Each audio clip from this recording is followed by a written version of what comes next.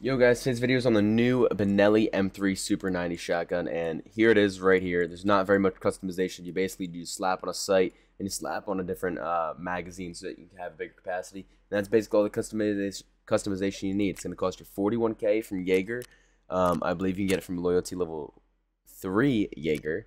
Um, once you get Jaeger loyalty level 3, which happens relatively early on, um, buy the shotgun. You slap on a magazine, which uh, don't do the 13 rounder, do the 11 round magazine. That one you can also buy from Jaeger. Slap on whatever sight you want. You don't really need a sight. You just hit fire this thing.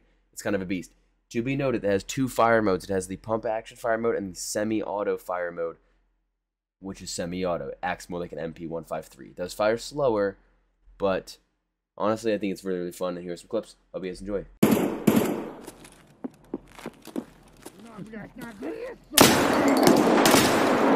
Rushing him.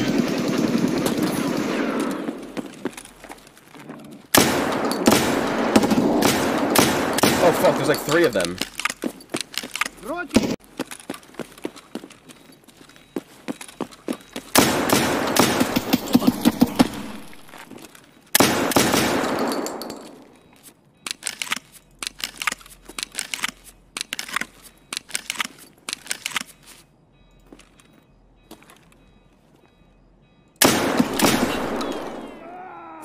Killed him.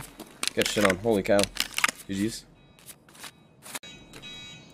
Just take the avion tail off the back end so you can actually like turn your head. It's glitched and I have the breathing glitch if I do that. What the fuck are you eating, dude?